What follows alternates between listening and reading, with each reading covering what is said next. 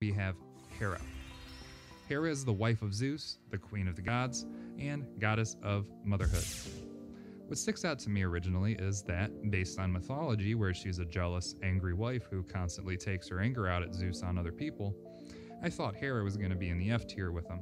But in my research, I did find a smaller but certainly vocal amount of people, mostly women, working with a reclaimed version of Hera, a caring mother, a protective deity who can provide guidance. And really, I see where they're coming from.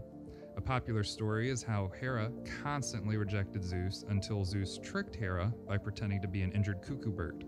She only cared because she thought an animal was in trouble, and when she gave him a hug, it turned into Zeus. If that's not the most wholesome and kind of disappointing thing on Hera's part, I don't know what is. Usually, people in this category give her some slack because her hand was pretty much forced in marrying Zeus, and she couldn't really do much to him, so what was a few mortals in the span of Greek mythology. One of the main things is that overall she's just not that popular, to the point where alternatives like the Egyptian Isis or Gaia or pretty much any other divine mother come to the forefront if you have no other preference. That leads to a pretty low uniqueness score, which reflects how many other similar options there are and whether or not the deity is seen as the best choice among the options. Fun fact Hera was so vengeful at all of Zeus's extramarital affairs that the only way one of his children survived was because they received Hera's name, just to please her.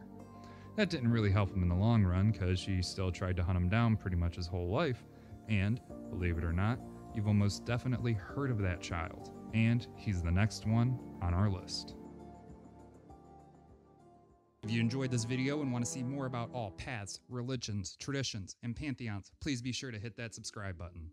If you really, really liked the video, please be sure to hit that like button and leave a comment telling me if I should cover the Norse or Egyptian pantheon next. Either way, thanks for watching, friends. I'll see you around.